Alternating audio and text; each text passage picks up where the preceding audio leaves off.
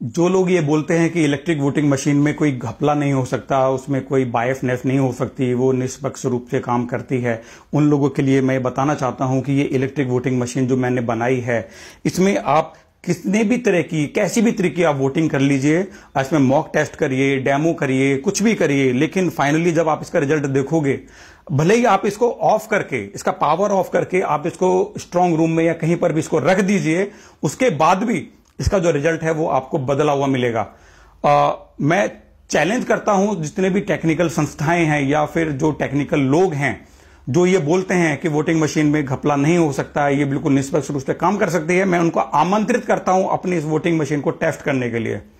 और अगर वो बोलते हैं कि नहीं इस तरह की मशीन बनना असंभव है ये मैंने मशीन बनाई है इसमें आप बटन दबाएँगे आपको ये भी दिखाई देगी कि आपने किसका बटन दब, दबाया है। आप कोई भी बटन दबाइए मतदाता को दिखेगा कि मशीन बिल्कुल ठीक काम कर रही है। मैं जिस चीज़ का बटन जिस पार्टी का बटन दबा रहा हूँ वही पार्टी इसमें इसमें नज़र आ रही है।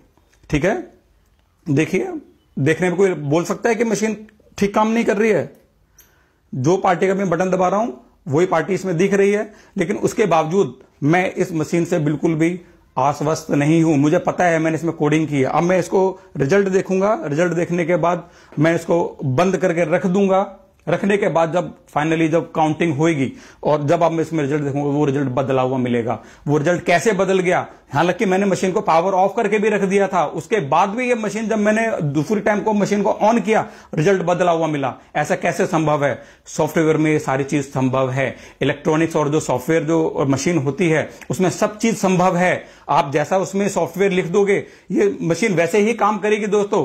और मैं आमंत्रित करता हूँ सभी लोगों को। आप आओ, इस पर डेमो लेके देखिए। और आपको पूरा विश्वास हो जाएगा कि जो इलेक्ट्रॉनिक्स जो वोटिंग मशीन है, वो हर तरीके से काम कर सकती है। जैसा हम उसमें सॉफ्टवेयर लिख देंगे, वैसा काम कर सकती है। दिन के हिसाब से काम कर सकती है, तारीख के हिसाब से काम कर सकती है। मॉक टेस्ट में बिल्कुल ठीक काम करके दिखाएगी, लेकिन इलेक्शन के टाइम पे रिज़ल्ट बदल देगी। ये मैं आपको प्रूफ के साथ बोल रहा हूँ, ये इसका जीता जागता एक प्रूफ है, आप इस पर टेस्टिंग कर सकते हैं। ठीक है?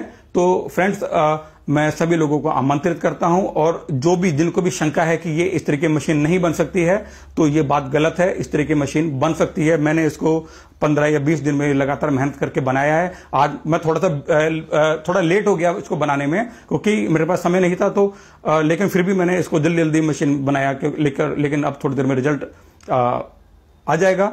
लेकिन फिर भी लोगों को यह बताना ज़रूरी है कि इलेक्ट्रिक वोटिंग मशीन का चुनावों में उपयोग बहुत ही मतलब संदेह वाला होता है, इस पर विश्वास नहीं किया जा सकता है। सबसे अच्छा बैलेट पेपर होता है, इलेक्ट्रिक वोटिंग मशीन का जो रिज़ल्ट है, उस पर विश्वास नहीं किया जा सकता किसी भी एंगल से। मैं ये चैलेंज करता हूँ और चैलेंज के साथ साथ मुझे पूरा कॉन्फिडेंस है अपने ऊपर कि ये मशीन जो भी आप इसको टेस्टिंग करके देखना चाहते हो, आप देखिए।